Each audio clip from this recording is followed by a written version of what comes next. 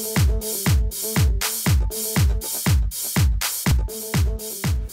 this small kit reviews of the 2013 Chevy Camaro ZL1 and here's a picture of the um, model. Not very impressed with the look of that one. Uh, here's our dimensions and some details, the colors needed.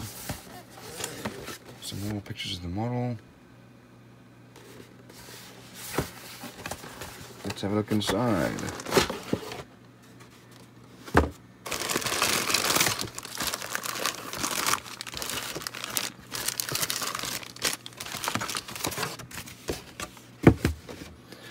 So it looks like we have um, some different options here. We can do these uh, really large tires. We've got some nice uh, tread on that one. Or we can do the more standard tires. Here are our wheels, the large rims, if you wanted to do those. And that chrome is reasonable. You can probably keep that. We'll have to have a look.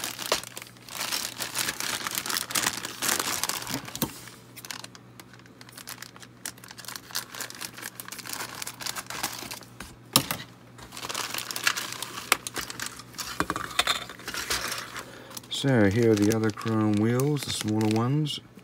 I actually prefer these ones.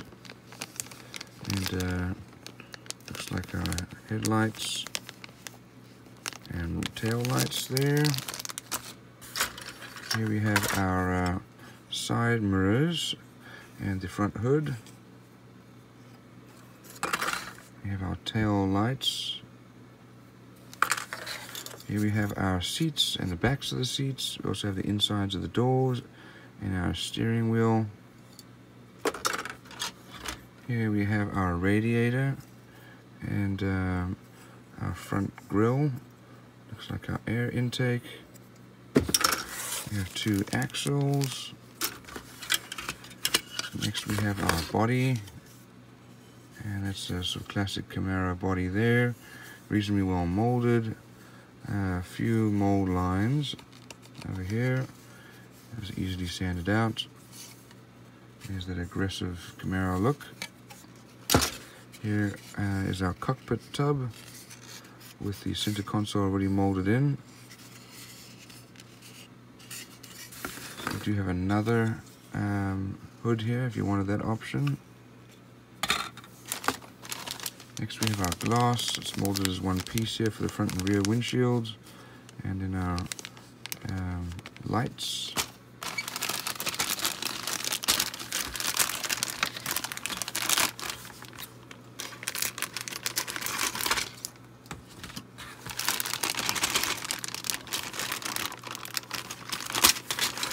These last few sprues here, we have our front suspension all molded together, a fair amount of detail can see here the uh, springs for the uh, steering rack, the boot actually. Our pedal box is molded in. We've got our center, um, sorry, our dashboard here. Here's our chassis, a lot of detail here, the engine bay. Here's our rear differential, drive shaft, some suspension parts all molded in. Here's our exhausts. We've got our disc brakes and wheel hubs together. Last, we've got our engine parts here, the engine block and transmission. We've got our exhaust manifolds, our uh, oil pan, and uh, our belts.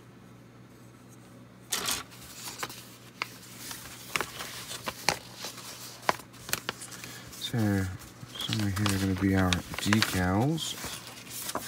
Got lots of decals there, nicely printed. Really good quality decals there. And we have some details about the car.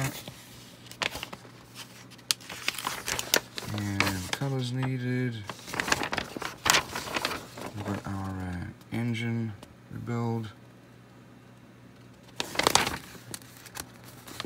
And uh, mount the uh, subframe and suspension parts to the chassis. Then we mount the uh, radiator and engine. Exhaust parts go on next. Next we have our seats and uh, dashboard cockpit tub being built for full interior. That's then mounted to the uh, chassis. Glass is put on the body. Put together the lights on the front and back. Next we put our wheels on and you can do the uh, smaller or large tire depending on which one you wanted to do and uh, those are then mounted onto the wheel hubs and uh, axles. Body is then mounted and then remaining body parts including the hood. So here's the uh, painting and decal guide. And here is the second option. So all in all, uh, some pretty good de details, uh, fairly well molded and some nice decals.